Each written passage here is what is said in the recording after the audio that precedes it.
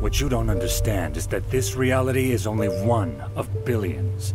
If I told you there were one where all those people you had lost along the way were still alive, wouldn't you do everything in your power to at least see it? We humans are strange beings, don't you think? We are so attached to this piece of meat we call our bodies, even though what makes us human in the first place is something completely immaterial. The Rhalata abducted me and over a dozen other orphans when we were just children. I was the only one who survived, but I cannot remember any of what they did to us. It's all just fragments, as if they took my entire childhood and ripped it from my memory. All she ever cared about was making the world a better place. More than she ever cared about us.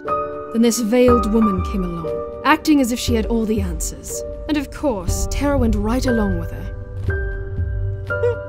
You don't understand. I don't deserve to be saved.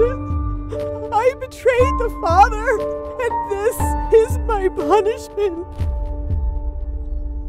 Dija Monelis, daughter of Jiran, emissary of the Blue Islands Coalition, and newcomer to this wonderful city.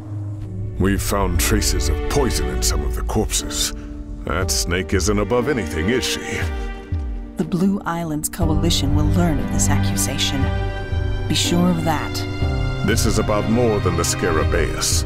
Weaving an intrigue like this, these pathless bastards spit on everything the civilized world and the Lightborn stand for. This is it, Terra? This is what you gave us up for? Fair. Nothing in this world is fair. Maybe it's time for you to finally stop deluding yourself.